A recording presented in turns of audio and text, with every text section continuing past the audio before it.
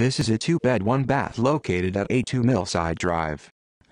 Starting at the entrance, there is a hallway intersection that leads rightwards and straight ahead.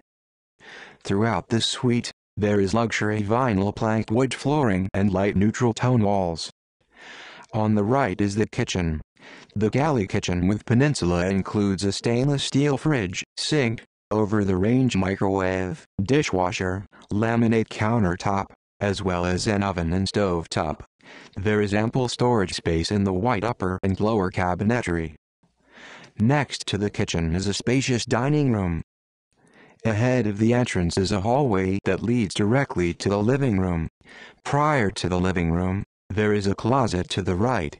The living room features a window on the back left wall. Next to the window is a glass sliding door that leads onto the balcony. Rightwards of the living room is a hallway that leads straight to the bathroom and two bedrooms. On the left is the bathroom. Prior to the bathroom, there is a closet to the right. The bathroom includes a vanity, toilet, tiled shower and bathtub. The vanity features four drawers and a cupboard below a laminate countertop with a sink, mirror and lighting. At the end of the hallway is the first bedroom. Just prior to the first bedroom, there is a closet on the left.